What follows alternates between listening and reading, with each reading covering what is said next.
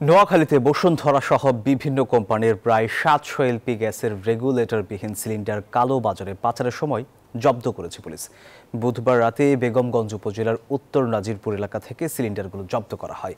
বেগমগঞ্জের থানার ভারপ্রাপ্ত কর্মকর্তা আনোয়ারুল ইসলাম জানান, খালি গ্যাস সিলিন্ডার পাচারের খবর পেয়ে অভিযান চালানো হয়। এ সময় আটটি কোম্পানির প্রায় সাতশো সিলিন্ডার ও একটি কাভার্ড ভ্যান জব্দ করা হয়। একই দিন শুধু বসুন্ধরার আরও প্রায় পাঁচশো সিলিন্ডার পাচারের খবর পাওয়া গেছে। অভিযুক্ত পরিবেশক বিভিন্ন স্থান থেকে বসুন্ধরা সহ বিভিন্ন কোম্পানির পুরাতন সিলিন্ডার সংগ্রহ করে সেগুলোর রেগুলেটর বিচ্ছিন্ন করে পাচার করে আসছিল।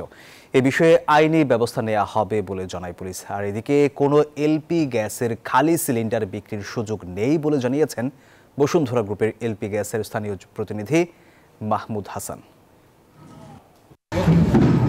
আমাদের বিজনেসের জন্য চরম ক্ষতিকর। কোম্পানিগুলো লক্ষ লক্ষ টাকা করছে, অথচ তারা অসাধু চক্র এই কাজটা করে ব্যবসাটা ক্ষতির সম্মুখীন সিলিন্ডার ছাড়া বিজনেস করা সম্ভব না। আমরা এর দৃষ্টান্তমূলক শাস্তি চাই।